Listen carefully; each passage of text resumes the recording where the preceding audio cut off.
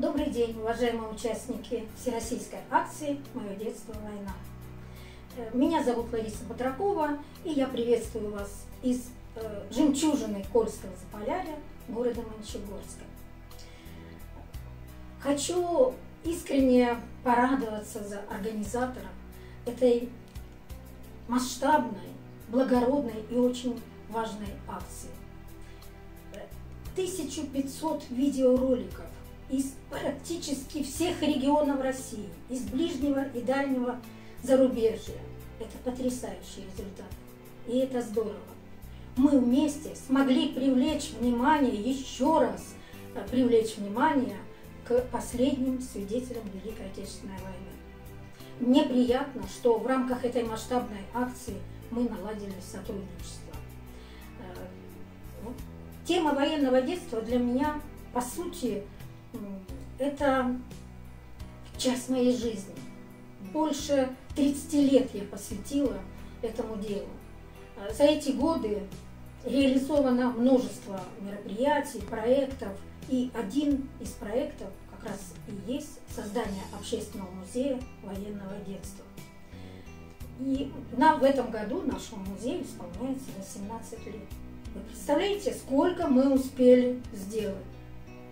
Только музей посвятили, посетили за годы его существования более 10 тысяч человек. И почему я говорю «мы»? Да потому что сохранение исторической памяти – это коллективная работа. Я много лет сотрудничаю э, с шефской организацией, с градообразующим предприятием Кольской ГМК, с образов... общеобразовательными учреждениями, с библиотечной системой города с администрацией общественными организациями. Но для меня были и остаются главными партнерами и союзниками члены общественной организации «Дети Великой Отечественной войны» города Мончегорска. Это мое вдохновение и это моя гордость. И сейчас я с удовольствием э, приглашаю вас на короткую обзорную экскурсию по музею, а поможет мне в этом Центр семейного чтения. Находимся в зале, который отражает быт 30-х, 50-х э, годов. Э, в этом зале можно увидеть, в каких условиях дети рождались, как они жили. Мы акцентируем внимание на том, что были семьи большие, и вот эта экспозиция наглядно это отражает. Также в нашем в этом зале есть экспозиция, которая называется «Школьные годы». Э, здесь можно проследить за тем, как дети учились, э, в каких условиях, какие были учебники, э, школьные принадлежности. Это вызывает также очень большой интерес у наших слушателей, у наших посетителей.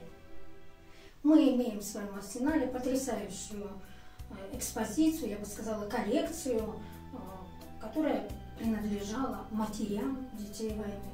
Представьте себе, многие годы они бережно хранили эти вещи в память о своих матерях и потом поделились этими вещами э, с нами. И таким образом э, мы можем теперь демонстрировать те наряды, в которых ходили женщины 30-х, 40-х, 50-х годах. Мы находимся в зале, который отражает годы Великой Отечественной войны. В нашем музее представлено более 20 тем, и о некоторых из этих тем я сейчас вам э, коротко расскажу. Во-первых, э, это тема «Дети-узники». Э, вот эта экспозиция отражает все те ужасы, которые пришлось испытать детям в концлагерях и в условиях концлагерях в годы Великой Отечественной войны. Также тема, которая называется «Трудный путь эвакуации». Э, ну, это для Мурманска особо актуально, потому что очень много женщин и детей были эвакуированы э, ну, из э, Кольского полуострова, из Мурманска и городов Мурманской области. Немало важная, можно сказать, одна из центральных тем в нашем музее посвящена женщине-матери. Мы ее так и назвали – Мадонна Великой Отечественной войны. Потому что именно благодаря женщинам мы сегодня можем говорить о детях войны.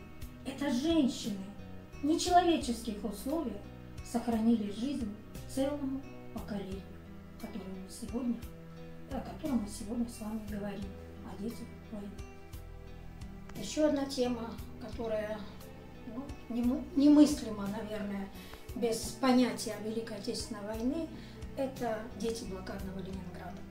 А, а также вот здесь отражены у нас документы, э, воспоминания очевидцев, ну и, конечно же, э, в унисон этой теме звучит тема «Хлеб войны».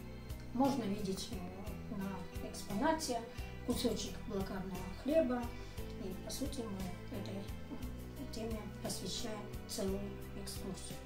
На протяжении всех лет существования музея я снимаю эмоции людей. И эти эмоции, независимо от возраста, будь то ребенок или взрослый, не могут оставить людей равнодушными. А иначе быть не может, потому что война и дети – понятия несовместимы. Уважаемые организаторы и участники этой благородной и очень важной акции, я желаю вам вдохновения и новых успехов по сохранению памяти о детях Великой Отечественной войны.